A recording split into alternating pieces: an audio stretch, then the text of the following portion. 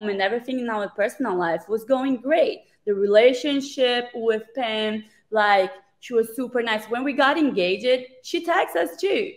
You know, she's like, everybody's in a better space now because they had stuff that they need to do and everything else. So, like, they talk sometimes, and it's okay. It's an eight years relationship. Same thing with mine.